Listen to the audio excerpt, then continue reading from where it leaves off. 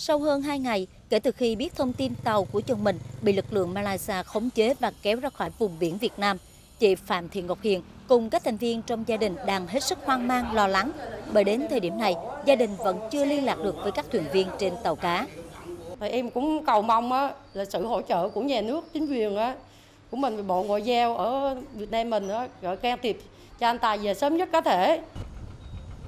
Căn cứ dữ liệu trên hệ thống giám sát tàu cá, ngày 27 tháng 3 năm 2022, tàu cá KH 94356TS hoạt động nghề câu cá ngừ đại dương. Trên tàu có 4 thuyền viên đang hoạt động khai thác hải sản trong vùng biển của Việt Nam, cách ranh giới vùng biển nước ngoài 7,83 hải lý. Tuy nhiên, lực lượng chức năng của Malaysia đã bắt giữ trái phép và dẫn tàu ra khỏi vùng biển Việt Nam. Bà con ngư dân người ta cũng sợ, người ta cũng nghĩ là là cái cái vùng biển đó là cái vùng biển nó nằm mà không có tranh chấp nó nằm của Việt Nam. Thì bà con ngư dân người ta cũng làm mà thấy cháu nó bị như vậy thì người ta cũng sợ, ta hỗn loạn, người ta cũng chạy hết.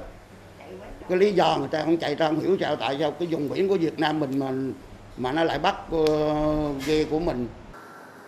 không riêng vụ việc này, mà trong năm 2020, ba tàu cá của ngư dân Khánh Hòa cũng bị lực lượng chức năng Indonesia bắt giữ trái phép khi đang khai thác thủy sản trong vùng biển Việt Nam. Phải mất rất nhiều thời gian để các bên giải quyết và đưa ngư dân trở về nước.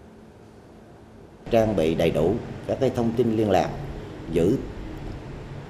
à, cái liên lạc thường xuyên với à, đất liền và các cái lực lượng chức năng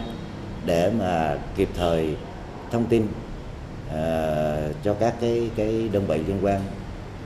biết để mà hỗ trợ